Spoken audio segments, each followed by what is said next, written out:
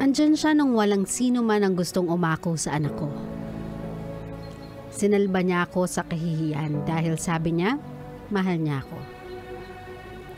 Aaminin ko kumapit ako kasi hindi ko alam paano gawin mag-isa to.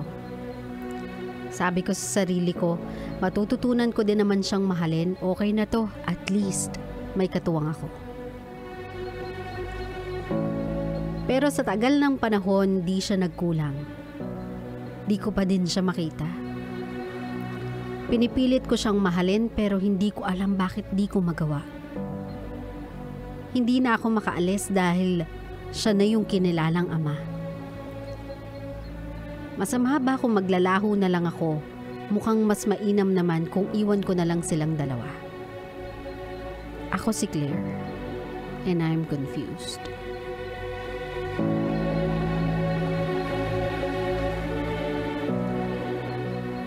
My love to answer your question straight, yes.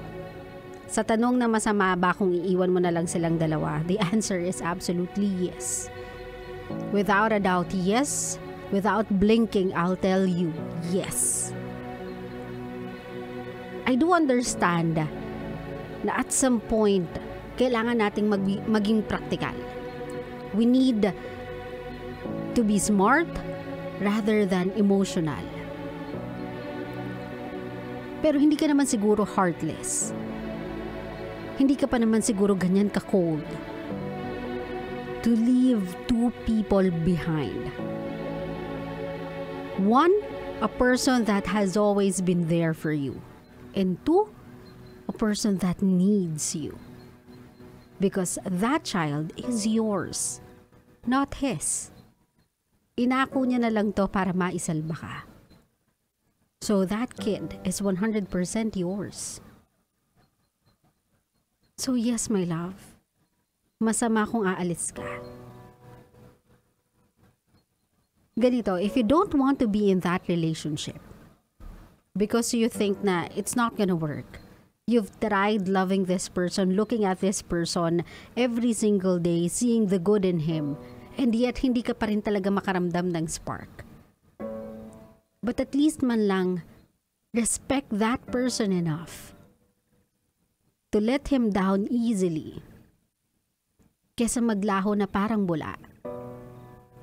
Kasi alam mo yung pinaka mas mahirap na tanggapin kapag iniwan ka ng isang tao is not knowing where you went wrong. It's not knowing kung meron nga ba, nga ba talagang nagawang pagkakamali is not knowing kung ikaw ba yung may kasalanan ka ba't kaya, ba, kaya umalis siya, kaya siya nawala. Is not knowing if there's anything you could have done para hindi ka iwan. Yun yung pinakamasakit. Kasi it's brain-racking. Trying to figure out kung ano yung pwede mong nagawa to stop that separation to stop a person from leaving you. To offer a person a bargain para hindi ka iwan. If you think that there's nothing that this guy can ever do to make you fall in love with him, then be respectful enough to say thank you sa mga panahong andyan siya para sa'yo. Sa mga panahong sinalba ka niya sa kahihiyan sa mga panahong naging ama siya sa isang batang wala naman talaga siyang kinalaman with. Sa mga panahong minahal ka niya kahit hindi mo siya kayang mahalin. For a person that has sacrificed so much for you, he deserves your goodbye. So my love, if sa dami-dami ng mali mong desisyon in life, you want to do something right, you want to do one decision na you can live with. That is to properly say goodbye to a person who loved you more than he loved himself. Sabi ko nga sa iyo eh, sa gagawin mong yan, hindi lang isang tao yung binigyan mo ng respeto. Binigyang respeto mo na lang din yung sarili mo.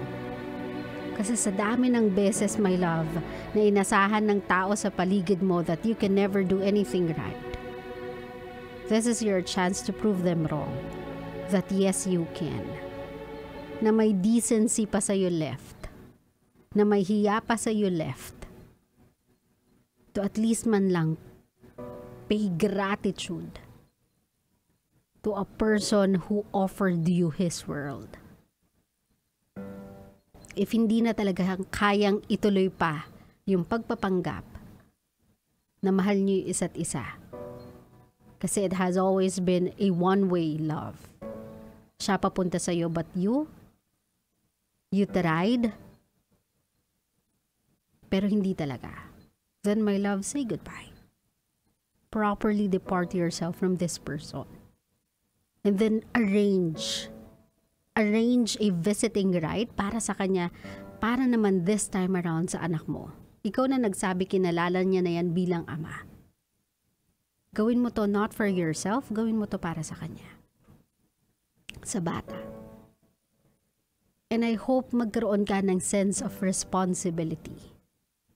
You are no longer dalaga. Isa ka ng ina. Maybe, my love, sa dami ng mga nangyari sa'yo, sa dami ng pinagdaanan mo, maybe it's time that you act like an adult. Maybe it's time that you act like a mother. Claro? Claro.